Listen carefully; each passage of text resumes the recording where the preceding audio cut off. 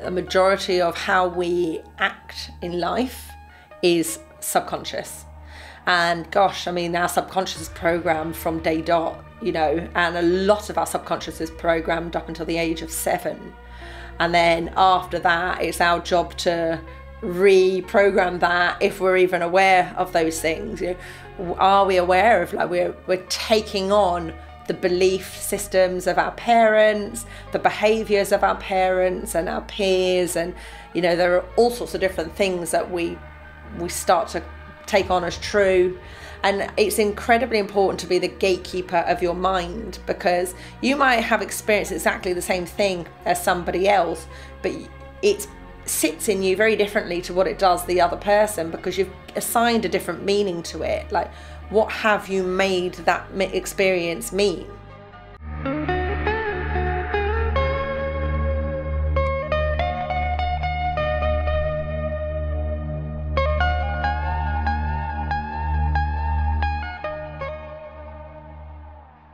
Liz Cann. Welcome. Uh, hello, thank you. it was so funny because earlier when I was kind of thinking about how to introduce you, I was sort of saying Liz Cann, Elizabeth Cann, and then I was thinking, and it was going round and round in my head. And I'm we're friends, so I can say this. But do you watch Friends, the actual TV show? I have done in the past, yeah. when Phoebe's like, Ross can, when she's trying to get when they're trying to get like tickets to something or whatever. But it was so funny because I was just that has literally been going round and round in my head all morning now. But in all seriousness, like that is that is you. Like Liz can. Like the actual it's in it's in your it's in your name. Like the attitude that you have towards life, that can do attitude, like however ironic it is. But when when did that kind of start for you and, and how did you get that attitude towards life? well, ironically, people did used to say if anyone can, Liz can. I knew that something like that yeah. was gonna, yeah. Yeah. Um, do you know what? It's it's hard to think back. Like when did I first get that? It's almost like I think I just got that from my parents through the years. I was just so involved in so many different activities, and everything I did seemed to turn into a competition. Like my mum used to say, you can't just do a sport for fun. Like I always seemed to want to compete in it and and try and do the best that I could do in it. So I think from a very young age, I was so driven to do the best that I could. And my best friend from like when I was three years old, we used to do all of our activities together. And sometimes one of us was a little bit better than the other, and then in a different area, the other one was better. And we both had this belief if you can do it, I can do it. Because we just thought, we've, well, you're the same as me, we're the same, so we're both just as capable as each other. So I think we had that healthy competition with each other. It was healthy. Um, and yeah, I think it just started from there. God, that's so so good from such a young age that you had that kind of mentality already. And like you said, it's always to do with the people that you surround yourself with, I think, as well. But yeah, so I guess we can talk a little bit about badminton just to start with, because obviously that's you know you were really successful number one um, England in England. So um, that kind of sport, I guess. Well, I actually watched a few videos of you play, and it's just so powerful. I think that how you play is how I think I look when I play, which is just crazy. But so, um, how did you how did you find yourself within the, the actual like competitive arena um, you know there's kind of that masculine feminine energy that's always in there. Um, so how did you navigate that and um, how how do you kind of quantify success then to, to now now that you're retired from it? It's interesting you bring up the masculine feminine energy like as a female athlete in such a masculine kind of world, like that competitive sport element, and you're lifting heavy weights and thrashing around doing all this aggressive training sometimes, but when you manage to balance out the calmer side of what brings success, that inner stability and inner calmness, I, that's when when I figured that out, that was when my best levels of success came out. The whole keep pushing harder, keep trying harder, go, go, go. Yeah, that's all necessary as well. And it's not about demonizing that side of things. But it was certainly when you integrate the two together and find what works for you to integrate the two together, that is when you're going to bring out your optimum levels. And interesting, well, what did I think of success then? A success, well, success back then was all about me winning.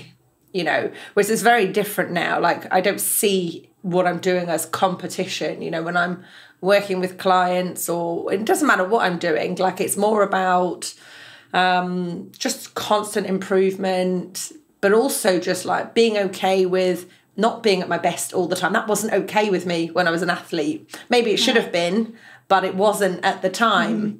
Whereas where my head is at now, it's not about always trying to be at your best. It's not about always trying to win. It's there's there's a lot more to life than that, you know, and it's it's maybe about having more balance in life and more time to relax and not always pushing harder and being a little kinder to yourself and a little bit easier. Yeah, so going a bit more into that because you you know now that you're doing this coaching and you're working with people you kind of call it a high performer so when like someone like me would might think that um, oh that that's just making me feel like i need to work more i need to do more i need to perform and that could make you know could could give you anxiety or this or that but what would you say then is a real high performer like what let's break it down mm. Yeah, it's a good question because I do often refer to like high performance, peak performance, optimal performance, but that isn't necessarily about winning. Um, and it's not I'm not necessarily referring to an athlete, you know, being out there on the field.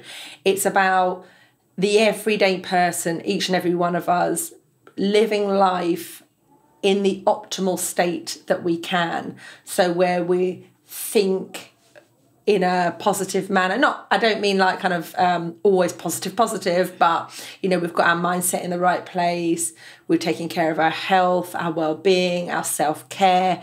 Uh, so, you know, taking care of our emotional health, mental health, all of those different elements, so that when you go out into the world and do the things that you actually want to do, and that might be career driven, that you might be an athlete, you might be a stay at home mum, it really doesn't matter what the field is or what that you're wanting to um, achieve something in. It's about being in your optimal state to do it so that you can make the most out of your own life. You can enjoy your life. You can have a more fulfilling life because you are you're maximizing the potential that you've got. Yeah because you you write something really nice which i wrote down because i want to read it. Because you know when you read something and you have to kind of read it again just to like let it sink in. So you wrote you either purposefully create your life by utilizing your higher mind or you create a default life by reacting to that which surrounds you. So you have to read that. Well, for me, I had to read it like a few times for like for it to sink in. But can you like explain a bit more about that kind of quote? Yeah, I think look if we don't create our life with purpose and do that ourselves, we're going to by default kind of get bumped around in life, reacting to the things that are presented to us and what other people want from us and are pushing for us to do. And if we're not taking care of our own mindset, if you're not setting goals, if you're not considering what you want out of life, if you're not um, optimizing, um, you know, how to make the most out of yourself, taking care of yourself thinking, what do I actually want and how am I going to go about achieving it?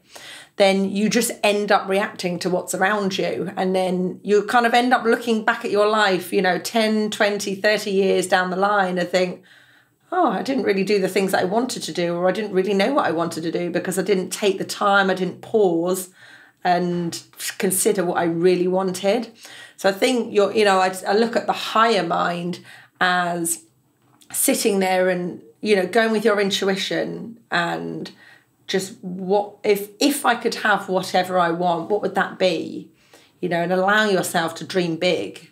So is there an element of kind of surrender in, in that then I guess? Did you feel that when you were competing back in the day? Um, and then was it like a gradual thing where you just thought, I'm going to kind of surrender to my higher mind and just let things pan out as they should?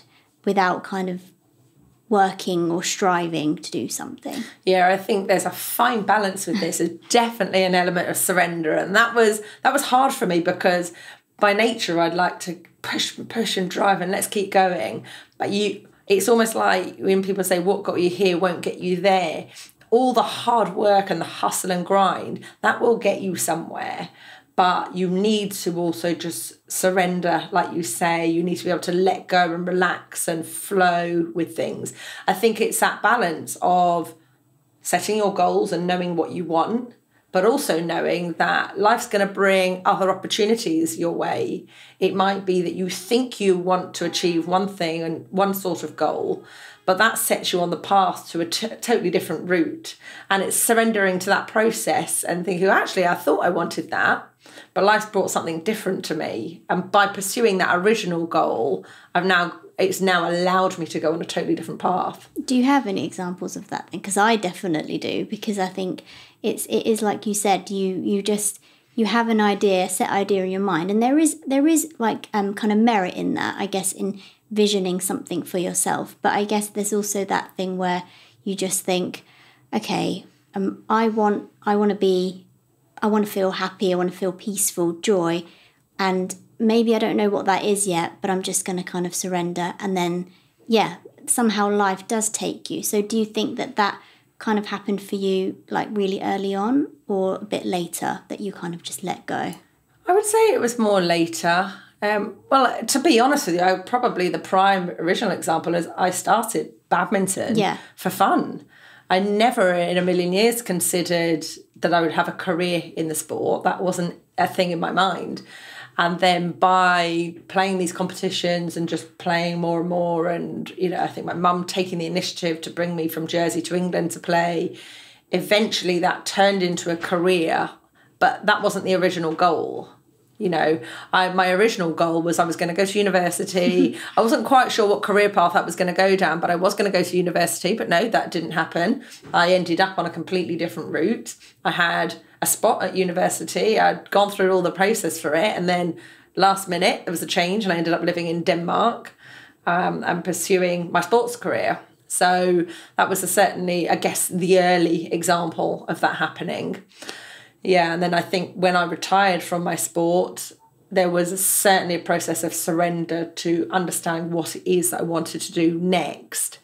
Um, and I kind of blew with the wind a little bit for a while and just went to different events and things to try to understand what that might be. So it was certainly a process of surrender. Because I guess you when you retire for something that you've done for so long, there's that kind of loss of identity in some way because your ego always wants to hold on to something, doesn't it? Like for me in my my job or um, as a like an athlete, you think, oh, what am I now? What do I do now? So I guess yeah, you had to navigate that after, and then found your calling in, in another in a sort of a, a second phase of your life by helping other people achieve kind of um, to be a high performer.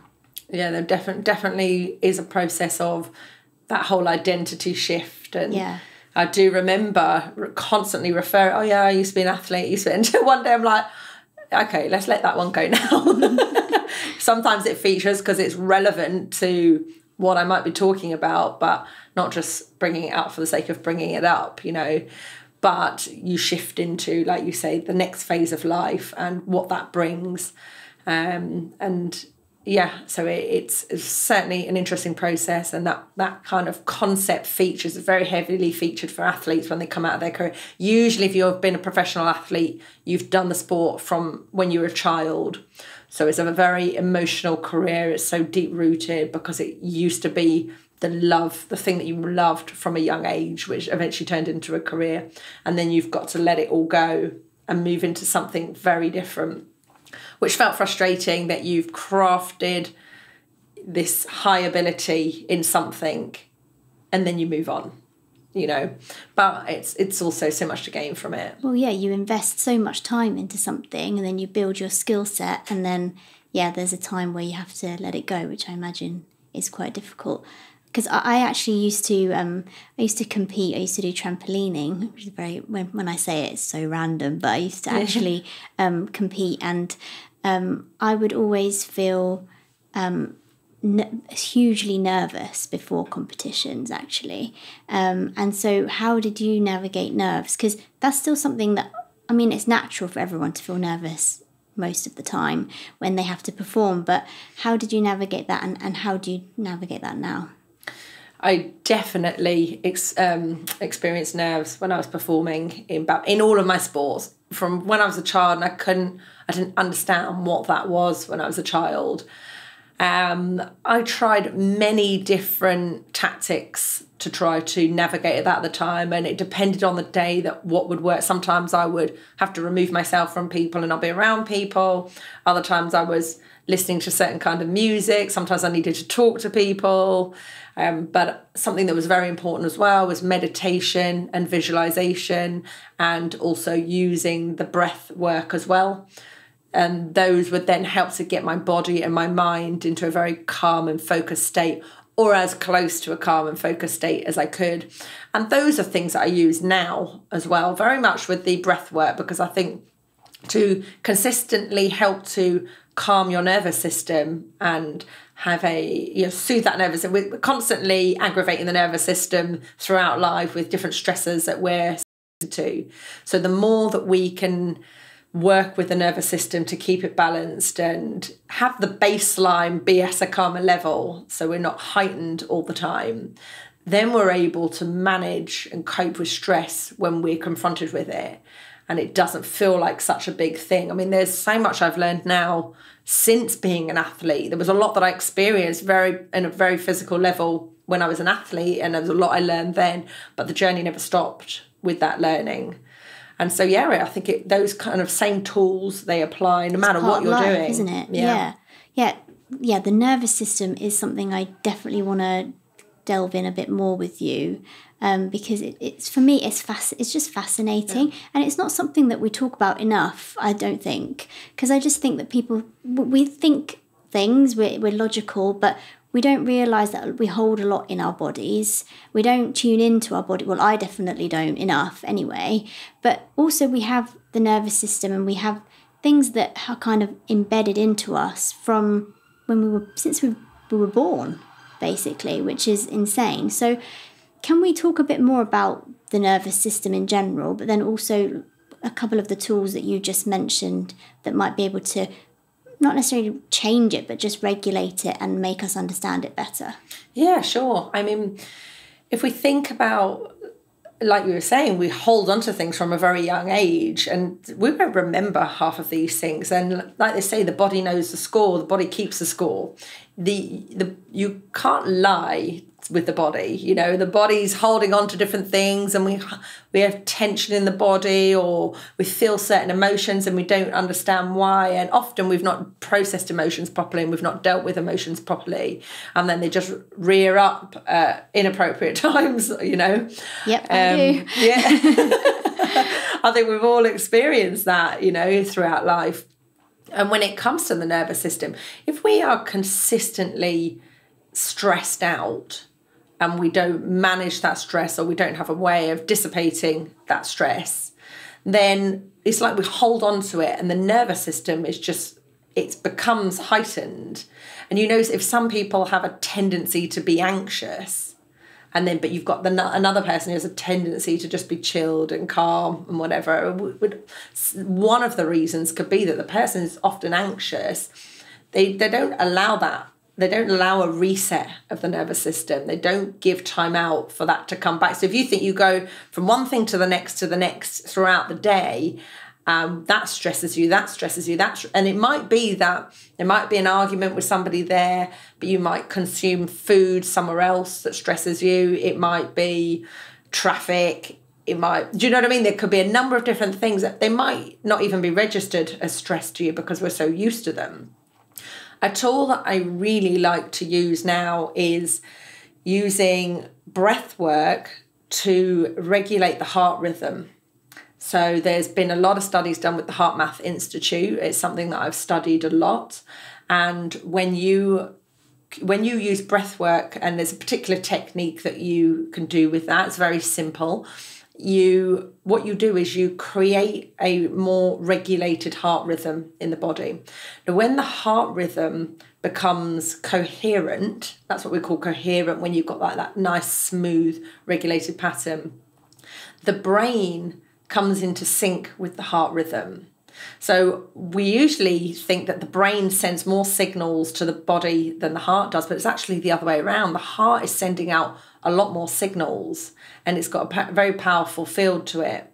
So if we're regulating our heart rhythm, making that coherent, then in turn the brain becomes coherent.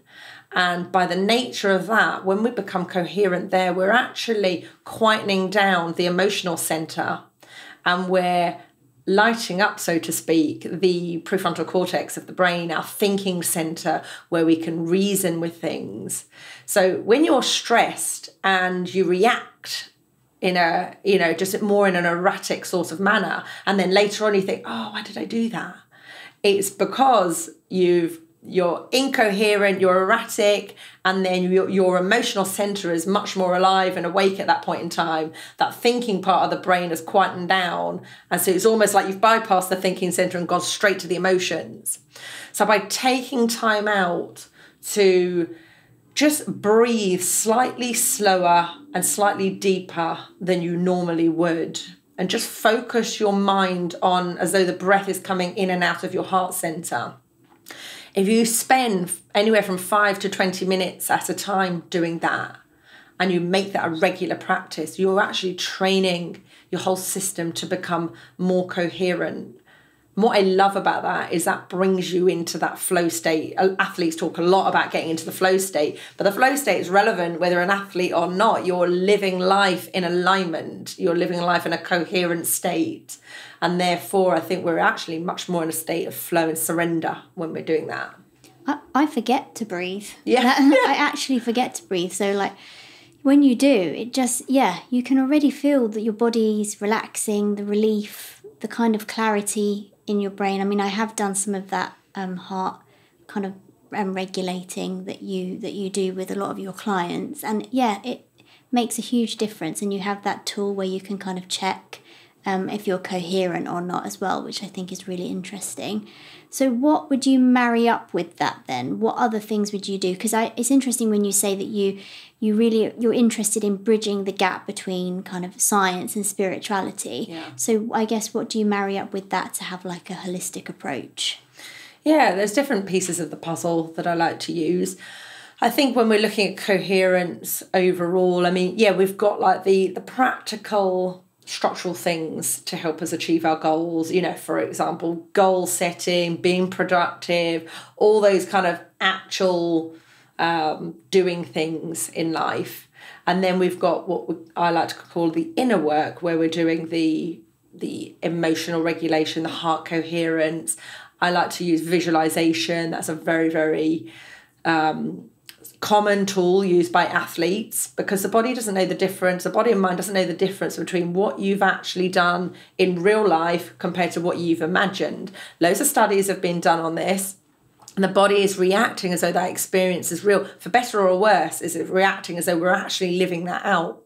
So if we can use that to our advantage and our power by thinking of the thing that you want to experience and coming as close into alignment with that experience as you possibly can in your own mind to the level where you are feeling what you would be feeling if you're experiencing that. So it's not just a thinking process, you're bringing the emotions into that. Um, and then, uh, you know, what would you be seeing? What would you be smelling? What would you be hearing? Make it as alive as possible so that you can attune your, your thoughts with your emotions and then tuning that with action your action so it's like body mind and soul all in one.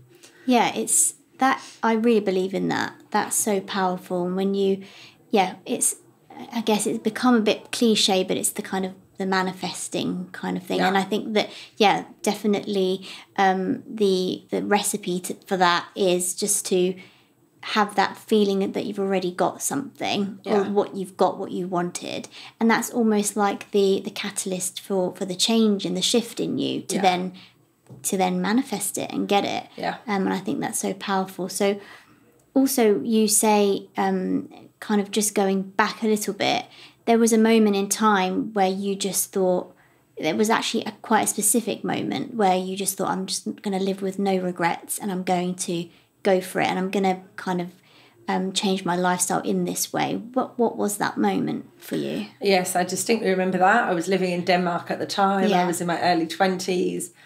And I thought, whatever I do or don't achieve in my career, and whenever the point, the end point comes, who knows when that could be? It could be tomorrow with an injury, or it could be 10, 15 years down the line.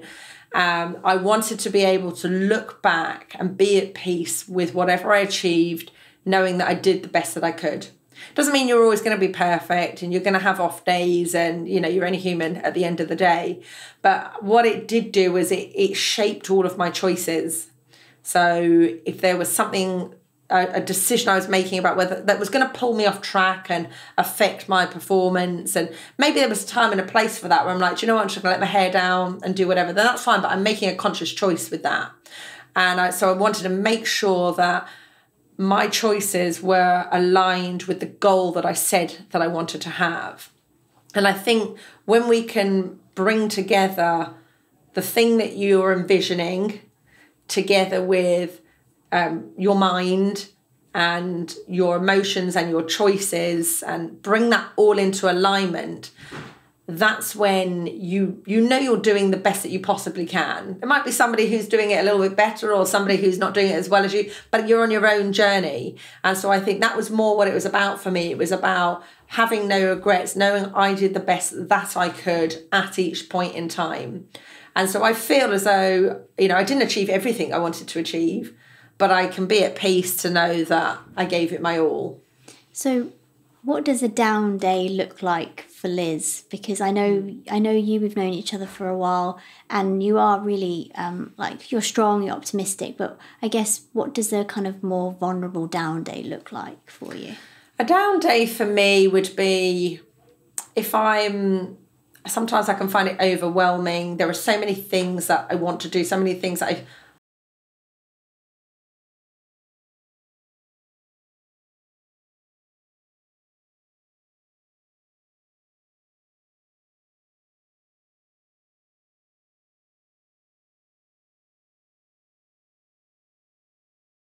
to do, I'm almost doing nothing because there's so much to do. And I've got to bring myself back to the drawing board. Right, okay, let's take a baby step. What can I do today? And maybe if it's a down day, there are days where I, I don't do that. You know, it's, I also have the support from coaches to help me, just like I support clients in that kind of way. Um, if I haven't done my the, the practices that I'm talking about, then I could get myself wound up and I'm not as calm as I'd like to be and I'm not in that flow state that I'd like to be in. And then everything feels disjointed and kind of clunky. So then it's about bringing myself back to those practices of what I know work for me. You know, sometimes there could be a longer period of time that I'm not doing the things that I'd ideally like to be doing. So then I have to pull myself back in and think, right, okay, let's ha- let's regroup let's reset. What are we where are we going? What direction are we going in? Yeah i can relate because i feel that i'm i can be quite ultra independent sometimes yeah. and you're kind of you're thinking that you're on your own you're oh, i've got to do this and you've just got to get through it and you're on your own. But you should pull from from community as well definitely. Yeah. um but yeah i can i can definitely relate to that. Um so in terms of your kind of um well some of the lessons that you i guess teach or cover procrastination is one that i know that you've you've spoke we've just spoke about now but you speak about. So um, i think it would help i mean it definitely helps people like me who sometimes i can be really really productive and then some days i will just procrastinate and it's something i've had to work on really um, had to be really conscious about and work on. So for listeners that might be struggling with that what um, kind of tips do you have now um, just like quick tips for them on that? Yeah, I think first of all, it's kind of getting to the bottom of why you're procrastinating. And sometimes that can be a surface level thing where you simply just don't have the structures in place in order to make it a little bit easier for yourself. But other times it can be a deeper rooted reason. Maybe you're avoiding something that you're afraid of doing, for example. And so that's the first step is to identify is there something deeper going on or am I just haven't got the structures in place. If it's a more of a surface level thing, then you can set things in place that um, you reduce the resistance of you doing that thing. So let's say it's about going to the gym. So by reducing the resistance of it, maybe you've got your gym bag ready the night before, you've got your clothes laid out, you've got your shower stuff ready, all those kind of things. So all you've got to do is get up, put your clothes on, and get to the gym. That would be reducing the resistance for it. Uh, if it's that you're maybe trying to eat less sugary foods or whatever that might be, then you don't keep it in the house. So you increase the resistance for you to do that thing, which means that you have to get in the car, go down to the shop when you fancy having that thing. So those could be like a more surface level thing to deal with. And then if it is that you're maybe avoiding something because of the fear of it, um, then probably getting to the root of why you're afraid of it. Um, what's the worst that could happen? You know, what is maybe sometimes there are things that you might want to achieve a certain goal, but actually by achieving that goal, it brings other complications to your life. You know, so it's maybe laying all those things out on the table of why you're avoiding what you're avoiding and then thinking, okay, well, take them one at a time. What will I do if I do experience that thing that I perceive as negative? And so by the time you, you can almost have a little action plan in place for yourself just in case you encounter those things. And you might not even encounter those things, but if you do, you know how you're going to cope with it. Because when we set goals, we can make it all rosy. We can you look at it through rose tinted glasses, but actually every goal really is neutral because everything has benefits and drawbacks to it. And so I think by having a balanced perspective on what our goals are and you know how we're going to achieve how we're going to um, overcome any challenges that we might face. I think that helps us to be a little calmer about it and and not so resistant to taking the action in the end. Yeah i think and it all boils down to again in the end our makeup and how we how we are you know the nervous system again and and subconscious too. I mean what um in your kind of um what you've been learning and your studies do you is there anything on the subconscious that you have learned about? Because that again is super interesting to me and i think that we i mean i think i've read or i've listened somewhere that we we basically use like most it's like 90% or something is our sub coming from our subconscious which is crazy. So can you tell us a little bit more about that if you've learned about that too? Yeah definitely. I mean you're you're absolutely right. The majority of how we act in life is subconscious. And gosh, I mean, our subconscious is programmed from day dot, you know, and a lot of our subconscious is programmed up until the age of seven. And then after that, it's our job to reprogram that if we're even aware of those things. You know, are we aware of like we're we're taking on the belief systems of our parents, the behaviors of our parents and our peers, and you know, there are all sorts of different things that we we start to take on as true. And it's incredibly important to be the gatekeeper of your mind because you might have experienced exactly the same thing as somebody else, but it sits in you very differently to what it does the other person because you've assigned a different meaning to it. Like, what have you made that experience mean? You know, I like, I look at it as we kind of look at life through different colored glasses. Your glasses might be pink, my glasses might be yellow, and that's that's according to our different experiences that we've had in life and therefore our subconscious programming. So I think just I mean a, a quick and easy way I say easy is not necessarily easy. but if if something triggers you in some kind of way or upsets you in some kind of way or somebody says something to you that you dislike, you have a choice. You get to decide whether you take that on as true or not. And if you do take it on as true, that's likely to become something that sits in your subconscious and becomes a belief that you live by. So we need to be the gatekeeper of the mind so that we're not just flippantly taking on anything around us as true. Question things, question things all the time even just when you beliefs that you already have question where that came from. Like why do i even believe that? Like is it actually true? You know ask yourself that question. Is it true?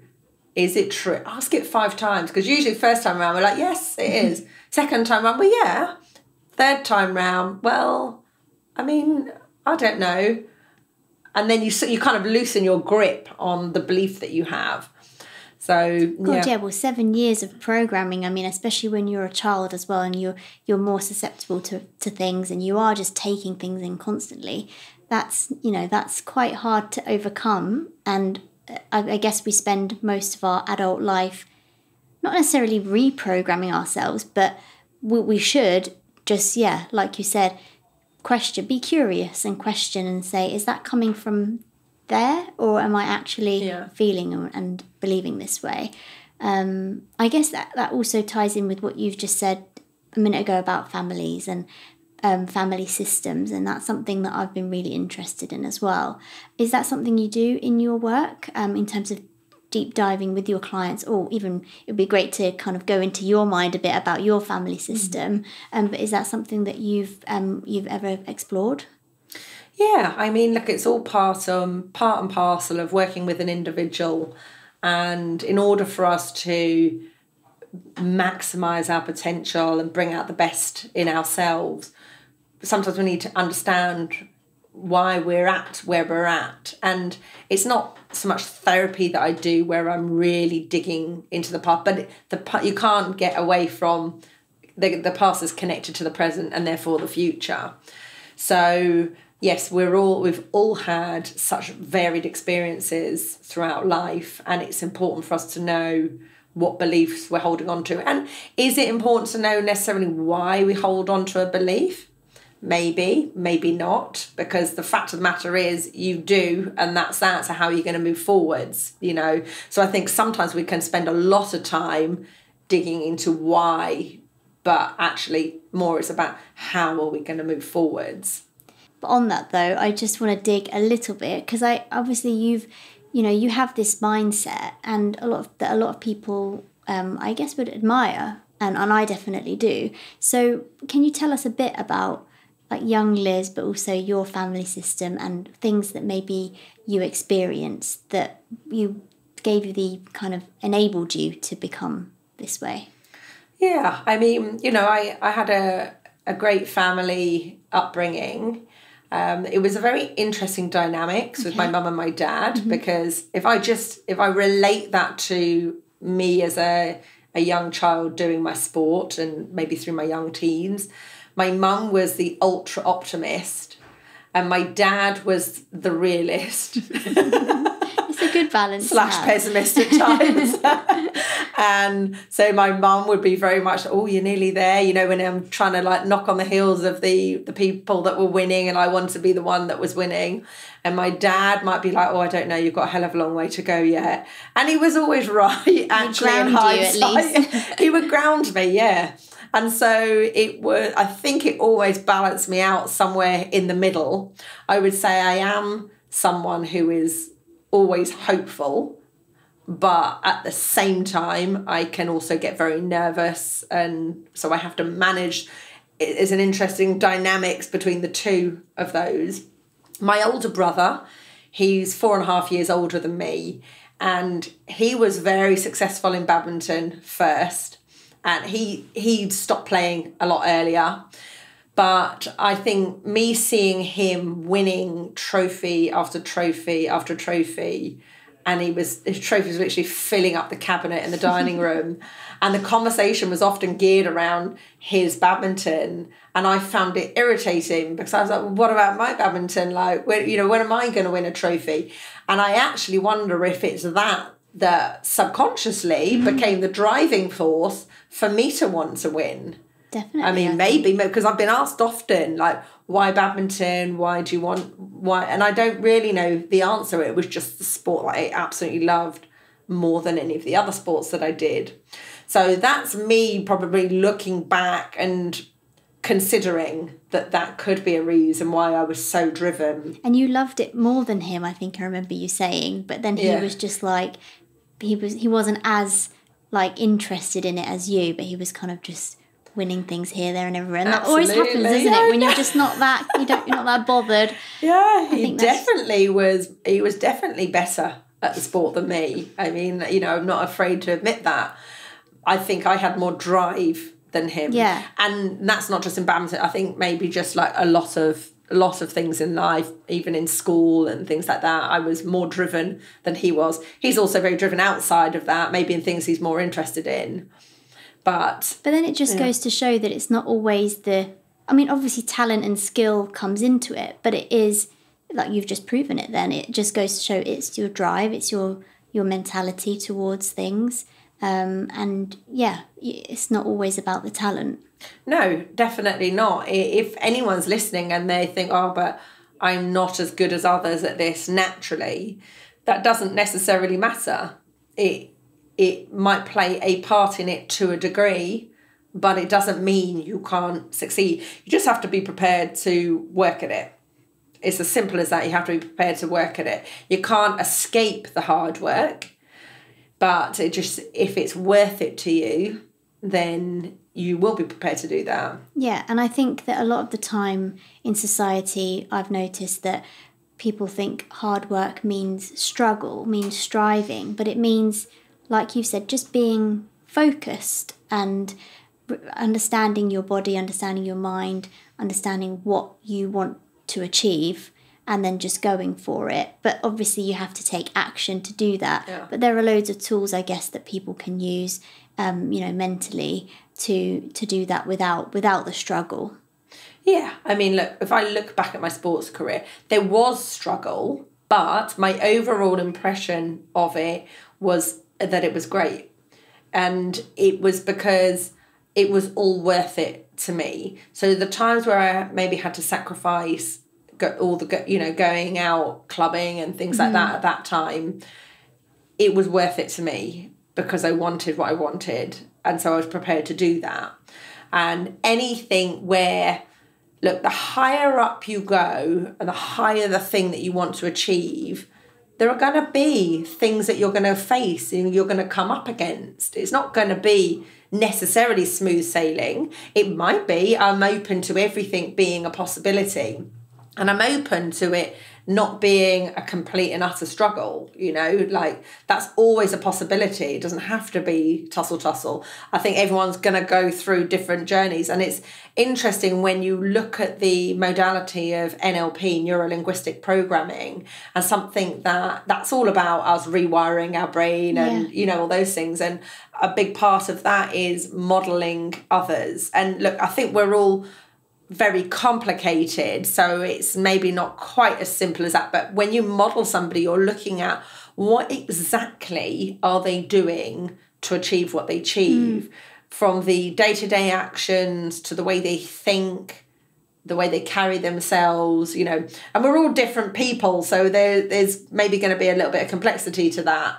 But there's a lot that we can learn from others and if there is somebody that seems to have a smoother path to something a lot smoother path than you, maybe there's something you can learn in that from them. Yeah, and I guess it's just making sure that you're not comparing, but that word more modeling and just seeing Yeah. like what we're doing here with you. I guess that's why, you know, um, kind of delving into what your experiences and how you think of things.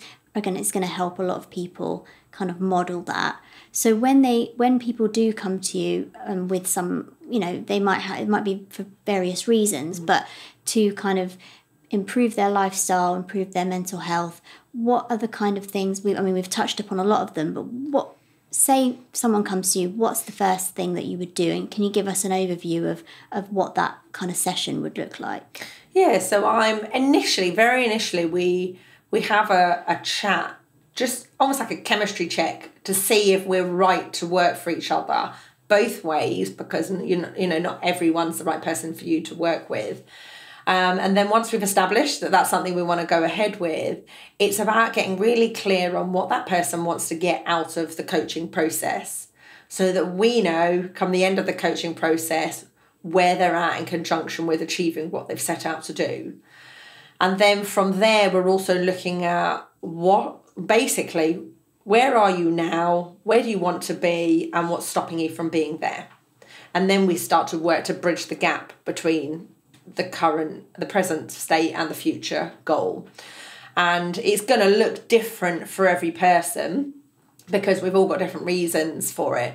But I'm, you know, it's a bit, I'm, the mind is always a very big part of it regulating our emotions is always a very big part of it. Identifying the different areas that we need to raise up, and is it a structural gap there, or is there a deeper reason? If we need to dive deep into well, we, we always dive deep, to be honest with you. I don't really do things on a surface level. Yeah. Like I said, it's bridging that gap between science and spirituality and really going on a deep, deep level in order to accomplish what we want to accomplish. Mm-hmm. So that's the level that I like to work on with clients. And the more somebody opens up, the quicker we can get there, basically. And I think the coaching process is about somebody being able to shine a light on what's holding you back. Because if we could do it all on our own, we would have done it by now. Yeah, it's you the know. support. It's someone holding you accountable. And Yeah. It's um, yeah, support's really like like I said earlier with community. Um, have but we just we don't really we don't pull on that enough. Yeah. I don't think Yeah. these days. You know, we if we're fortunate enough to have people around us that love us, that are willing to support us, but also, you know, professional people as Yeah. well. I think we should definitely pull on that. And I don't know why we've just seemed to have lost that over the years. I know this whole I can do it myself thanks. Like it's you can do it to a certain degree yourself, but you know, there's only so far you can go. And I think when when you work with a coach, it becomes we, not I, but we. Mm. And I know from my experience of having a coach, it's almost like a big sigh of relief. Yeah. Oh, thank goodness I've got somebody to help me. Gives you this. strength. Exactly. It gives you strength and it does hold you just by the nature that you are you're there is someone in your corner that you're working with and is kind of helping to keep an eye on where you're at. That in itself provides accountability. Uh, you know, you're not you're far less likely to procrastinate on those things because that's what you're working through. Those are the things you're you're dealing with. Yeah. So we've touched on some of the more scientific things like Mm. the heart regulating and coherence, but with some of the more spiritual things like meditation, do you do that with clients too? Um, and are there any other ones that are a bit more, like you said, you want to go deep. Yeah. So what kind of things are you really doing to get deep, kind of more spiritual? Yeah, I mean, meditation's definitely a really key Yeah. part of the process as well. And um, I I like to well, you know, on a spiritual level, everything has a frequency, and the more coherent and in alignment we can become, the the more we are aligning on a quantum level. And so something I, I like to use as a frequency device as well. So that's very much working on a deep cellular and energetic level. And it is a little tool that will determine where you have energetic imbalances that are blocking you from moving forwards. And then it will recommend and deliver frequencies to your bioenergetic field and that that will help to move you forwards on a very deep energetic level and so that's that's a tool that i like to recommend to my clients so that they can use that during and in between sessions with me but if we think about everything everything that we do even to the food we eat to how we manage our stress to our sleep to the people we're around that all affects us on an energetic level and so identifying all the different areas that stop us from being in the flow state is something that's really, really important to do. I like to really go deep on what the different elements are that are not in an ideal state. And look, it's not about perfection, but it is about cleaning up as much of that stuff as we possibly can so that once we get what I like to call in alignment, it, it almost like clears the channel. So it makes everything flow a lot more easily. You know, we are electromagnetic beings, and if we take care of our electromagnetic field through our emotions, through our thoughts, through our feelings, then and and through the physical body, and we bring all of those into that coherent, aligned state, then energetically we are aligned and therefore in a position to have much greater success. I just find that from my own experiences, before I understood a lot of this stuff, I found that when I meditated regularly, when I visualized regularly, when I was doing the breathing exercises, when I was sleeping well, when I was eating well, when I just had good hygiene in all of those areas, I just seemed to draw the successes to me and experience these successes. And I couldn't understand the relationship of, well, what's the thing that I'm eating and the food and the sleep, what's that really got to do with why I'm experiencing a particular success in a certain area? And now I think it's because I'm in energetic alignment with these things to happen. And so that's more on a spiritual quantum level that I'm now in alignment. So it that drove me to digging deeper on okay, what are these areas that are bringing me more into alignment or blocking me from being in alignment? And so, therefore, in this coherent state that we spoke about. Yeah, it's always the small things, isn't yeah. it, that we just don't think matter that much yeah. that actually build up and they do. But, and, and I know that life gets in the way. Yeah. And then, you know, you just, oh, I'm too busy to do that or to think about that right now. But it is about consistency. But that's what so many people struggle with. I struggle with that a lot. Um, and it's also, I guess, Uh, you, I mean, you're definitely we're definitely privileged if we can if we can think about that and yeah. do that kind of stuff. There are a lot of people out there that that I guess don't have that privilege, but it's not just about that. It's it is you can start small, so I guess everyone can you know do that somehow. But how do you recommend that people people who have those lives that are just very stressful, busy, what are the small i mean apart from some of the things you said in terms of thinking about what you eat and sleep mm. what are some of the other patterns that they can really be conscious of i would say the very first thing for people to do when they're in that situation is just give yourself little uh, blocks of time to just stop and breathe Breathing. even if that just is breathe. like yeah it's as simple as that even if that is doing two minutes or five minutes because that's all the time that you've got. And like I do realize people have got incredibly busy lives, which is why it's not always realistic to spend, oh, I'm going to go and meditate for an hour or even half an hour. Sometimes that might seem too much. But if you just get in the car after work, just take five minutes and just breathe.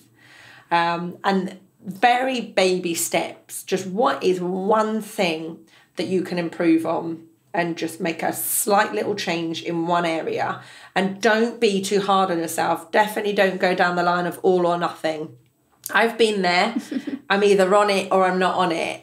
And then you if you're not on it then you know it's like oh it's and a downward you, spiral exactly. Then, yeah. you almost go go to town with not being you know on point. So identifying one thing that you can make a little shift in.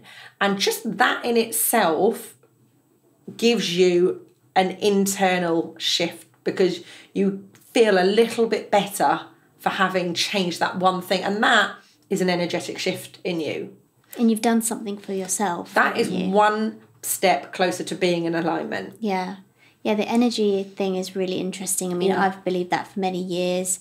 Um, I mean, I read books, but yeah. it, you feel it, and you do when you go into a room like again another thing that we don't really take much notice of we're very logical we just think well not everyone's logical but yeah we're very we, we think a lot yeah. i mean it's like incessant thinking really if we really think about it yeah. um, but when you walk into a room you you can actually feel the energy in that room or you can feel the energy you might think oh no i'm not this isn't for me and you might need to i mean i've had instances where i've had to leave leave a room because i just felt felt it too strong and this is just yeah, it's, it's not good, um, and then vice versa. Yeah. So, um, have you felt have you felt oh, anything oh, like absolutely, that Absolutely, yeah, absolutely felt that. I mean, I've had it where I've walked past somebody yeah. in the street and I'm like, oh, I don't know what. The, Are you okay? yeah, no, absolutely.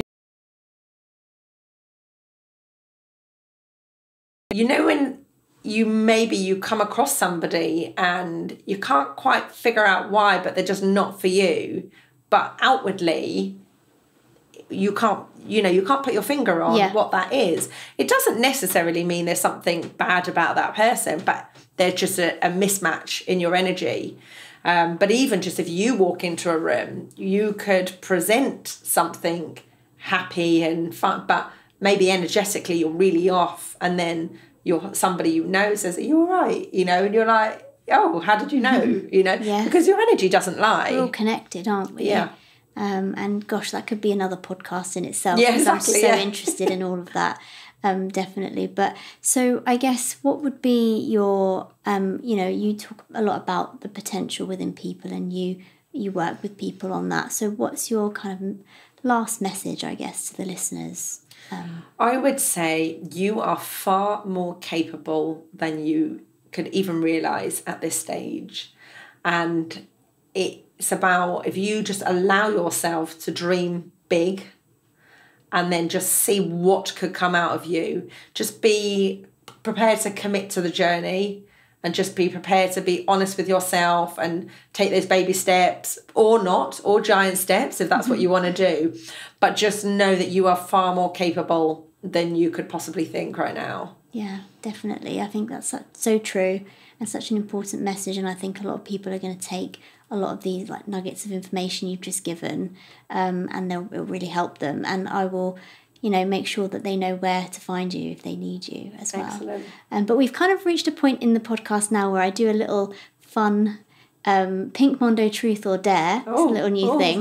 So don't be scared, it'll be fun. so do you pick truth or dare? oh i pick truth I thought you'd pick yeah truth. Um, what's your biggest pet peeve? oh gosh that's an one. interesting one When people ask me this, I'm like, there are so many. yeah Which one to pick? that's going to sound like a really trivial silly thing after, it's- what, after what we've just After spoken about. we've spoken about, it's if I'm on the phone to someone and they're slurping with their drink. Noted. yeah. oh, that's so funny. Thank you so much. Um, I really appreciate you coming on. And um, yeah, hopefully we can talk more about energy and all that other stuff again Thank you for soon. having me. Thank you. Thanks so much, Liz.